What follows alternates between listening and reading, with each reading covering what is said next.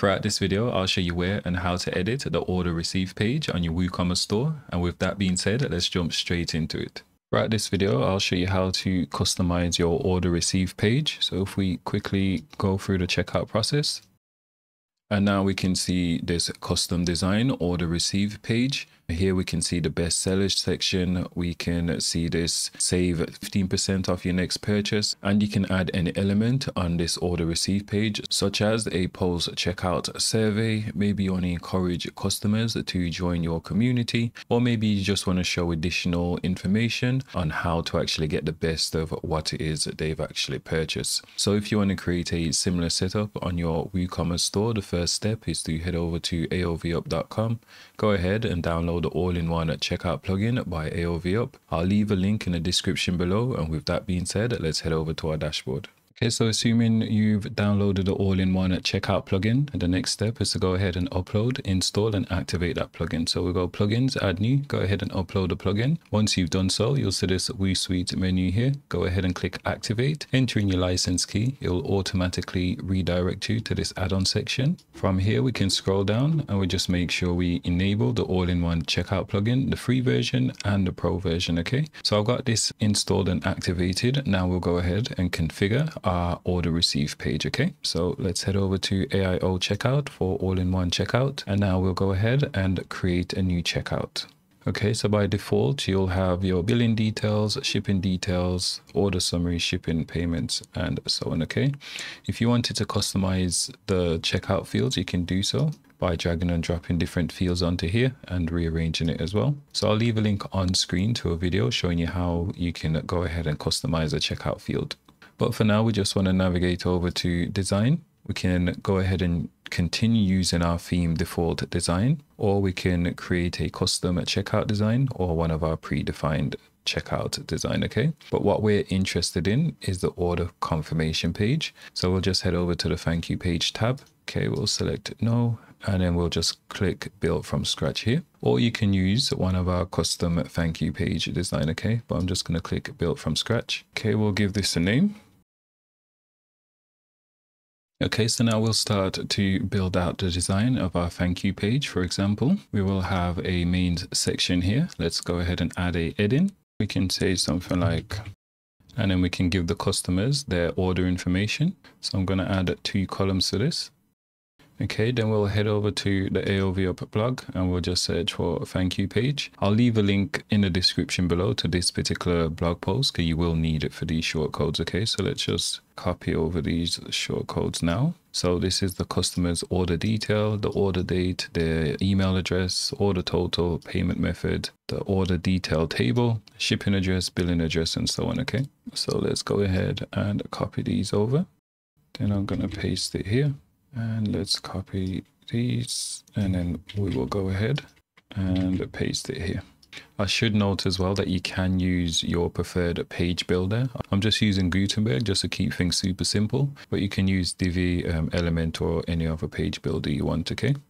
Okay, we'll add another section, add a heading here, and then we'll say something like bestsellers.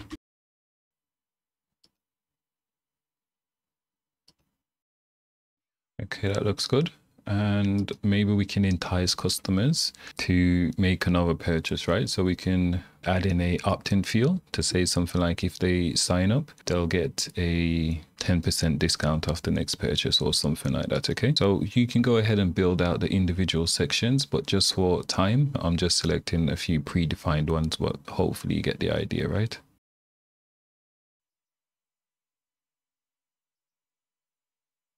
You might want to add a featured image so you can quickly identify this particular custom thank you page.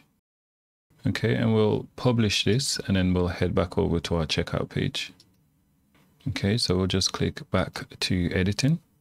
Okay, and then here we can see our new checkout design. So we can go ahead and edit this again if we wanted to make any additional changes to it in the future, or we can just go ahead and select it and then we'll navigate over to settings. We'll make sure we enable this checkout. We'll set it as our global checkout and we'll give it a name. It's just for internal purposes. And we can ignore the slug. Where it says applies to, it will automatically apply to everyone since we've set it as our global checkout. Um, let's disable this option And we can rename as well the place order button with any custom text as well. We can just add it here. So we'll just hit save changes and then we'll go ahead and check out our custom order confirmation page. Okay, so that saves fine. So let's head over to our store page. So a few things I would change straight away personally is here we're showing the shipping and the billing address here. So maybe I'd show the shipping address over here and then the billing address over here and then maybe just add some heading under it. Okay, so it's good to go ahead and test just to make sure everything's working as expected. But hopefully you get the idea. So if you've got a post checkout survey, you can embed it onto your thank you page. Um, maybe you want to prompt customers to sign up to your email list, you can do so as well. You can add related products or bestsellers, for example, like what we're doing here. Hopefully that gives you a rough idea. So this is just something I came up with in five minutes. Hopefully you'll spend slightly longer designing your thank you page and create something much better than this. So I'm just going to quickly edit these minor details here and then we'll check back and see how it looks. Okay. So let's head back over to our dashboard let's go ahead and edit this template. Okay, so let's update this and then let's double check our order received page. Okay, so let's refresh this page. Okay, so this looks, this is starting to look much better. So let's remove this table since we've already got it here. Um, so let's do that now. Okay, so let's update our design. Let's view our checkout again. Okay, and this looks much better. We could also flip the columns around as well. So if we head over here, let's minimize this slightly and then let's just switch it around and see how this looks.